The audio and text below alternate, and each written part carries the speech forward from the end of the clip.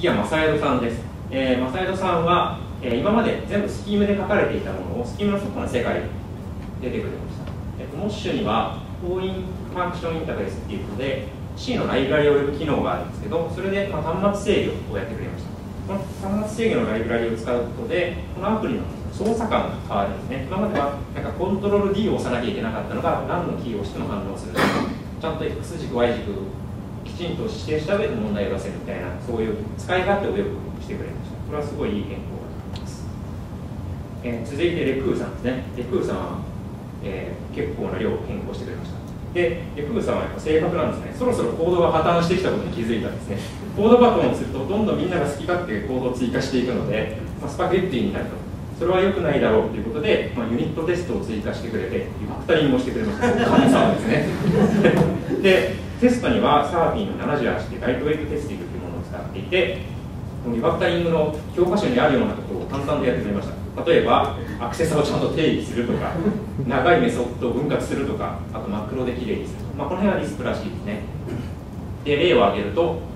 例えば、えー、端末制御なんですけども端末制御っていうのは端末の初期化をして自分のやりたい処理をして最後に終了処理をするんですけどそういうのはまあ定型なのでなんかビズカーセズみたいなのに、えー、自分のやりたい処理を渡せば終了処理と初期化処理が勝手にやってくれるよみたいなよくあるパターンのやったりもしてくれたりとかあとはマクロでビギンゼロこれはご存知の方いるかもしれないですけども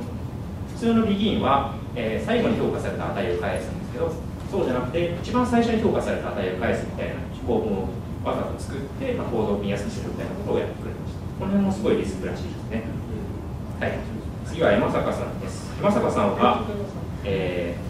逆引きを作ってくれました。どういうことかっていうと日本語の意味が出て、えー、平坦語の意味なんだねっていうのを尋ねています。これをすごい短いコードで書いてくれてこれは結構今までなかった機能にいいなと思いましたあとは、えー、問題にタイムアウト機能を作ってくれて、まあ、答えられないのは間違い扱いみたいな感じにしてくれてます。あとさっき紹介したビズカーセズマクロなんですけど、えー、これは手続きあ手続きなんですけど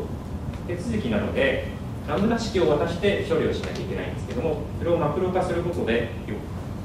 えー、直接ボディをかけるみたいなちょっとマニアックなんですけど、えー、ラムダ式を書かなくていいような改善もしてくれてます。はい。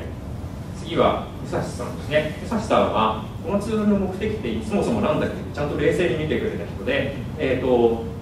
単語を記憶したいんだから、えー、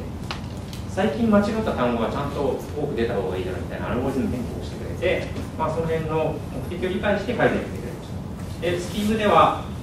日付とか時刻を扱うのはサーフィー19っていうやつで、まあ、カレントデータとかいうのが取れるので、まあ、この辺で改善してくれました。次は名古屋 T さんですね。処理系あっちこっち行くのはそろそろやめようということでモッシュゴーシュどっちでも動くようにっていうことで大手術をしてくれました、えー、ゴーシュには ITFI の機能がないんですけども小黒さんの C ラッパーを使って端末制御ライブラリを呼び出すことでどっちでも動くようになりましたでこういうふうにスキームの処理系依存のコードを書くときは、え、サーフィー0っていうので処理系以前依存の処理を分けて書くことができます。これはポンドエクスパウンドっていうのが言って、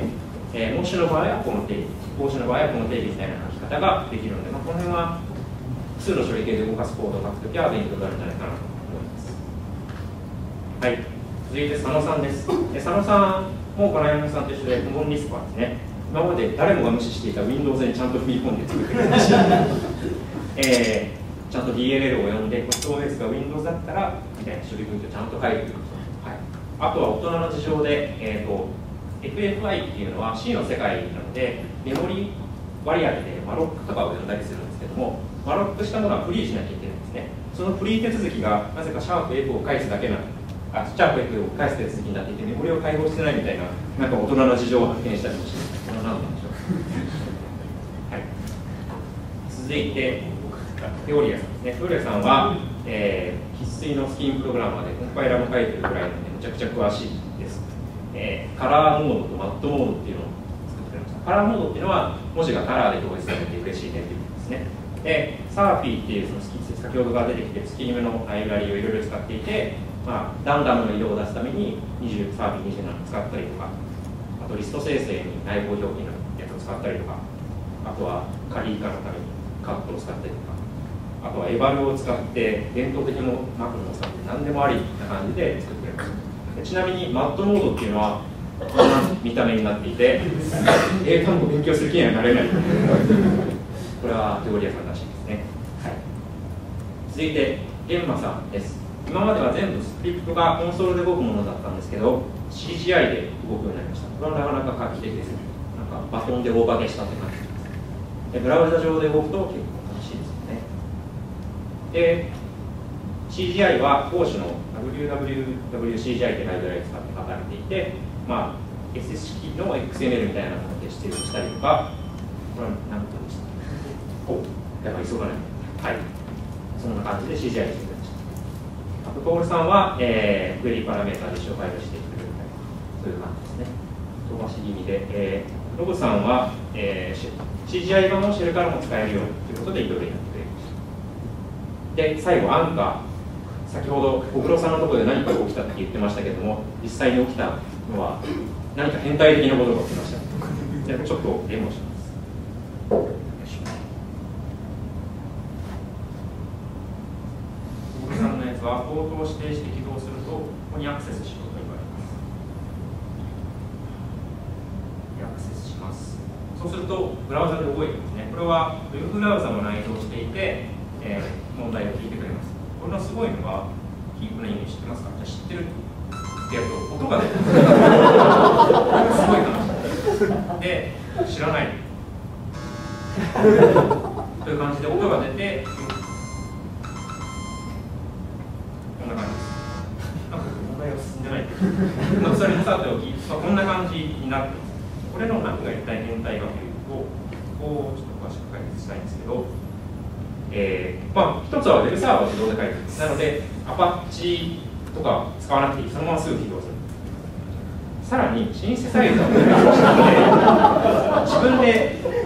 ウェブデータを作って、ウェブファイルを返してる。それが一つのスクリプトでできてるっていうのがすごくて、あとはそのウェブファイルを作るにも MML、ミュージックマークアップランゲージっていうのを定,、まあ、定義があるんですけど、それで書いたものを音を出すみたいなことをやっていて、かなり変態で。死ぬほど勉強なので多分よくできたと思います。あと小黒さんはさっきのピンポンとかブーっていうことにものすごいこだわりがあるみたいなのであの休憩中に聞いてみてください、はい、でやっぱりスキームのプログラマーすごいよね。小黒さんがみたいな感じでアンカーとして素晴らしい。で最後にスキーム以外のコードバックとしてユーミさんのムーってお読みするんですかね、ニューみたいです。ニュー。はい、ニューってことで書いてくれたりとかあとはスモールトークったりとかあとクロージャーは意外にかなり盛り上がっていていろんな人に回っていて、